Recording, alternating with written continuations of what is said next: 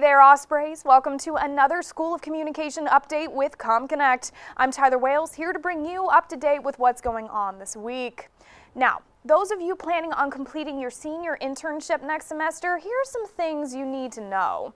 First, applications are due December 2nd, so now is the time to be applying and interviewing. Next, you can find the Spring 2020 application in the School of Communications office or on the internship website. Now this website houses more than just your application. It also has a list of pre-approved internships that apply to your major track. Now, if you are applying for non-pre-approved internships, it's especially important that you turn in your information before the second. That way your supervisor can make sure your program meets the school guidelines. For more information, you can contact the School of Communication on the website on your screen or the internship coordinator, Bobby Doggett. Well, this week's CommConnect Spotlight is Catherine Clark, the newest member of Inside Swoop.